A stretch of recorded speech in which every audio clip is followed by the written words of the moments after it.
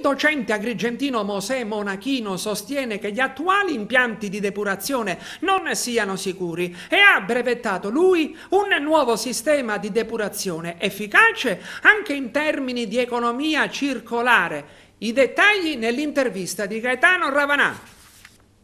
Professore Monachino, eh, secondo i suoi studi, ma secondo anche l'Unione Europea, gli impianti di rete fognaria attualmente in vigore sono altamente inquinanti, malgrado il lavoro che svolgono.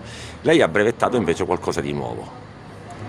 Allora, la, la, cosa importante è che oggi si usano solo ed esclusivamente depuratori di acque reflue civili.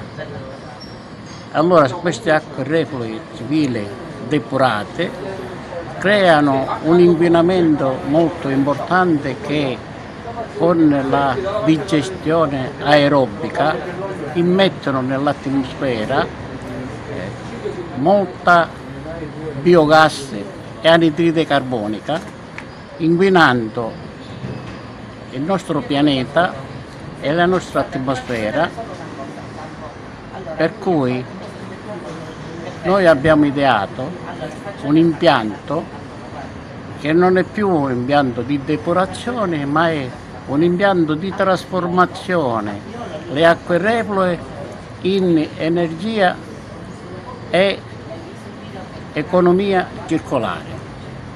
Economia circolare perché si può pure guadagnare in pratica. Esatto.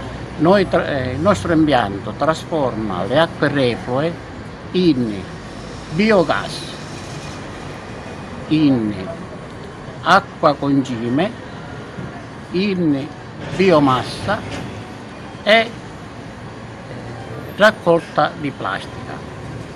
Infatti lei diceva che è possibile praticamente lavorare qualsiasi tipo di materiale.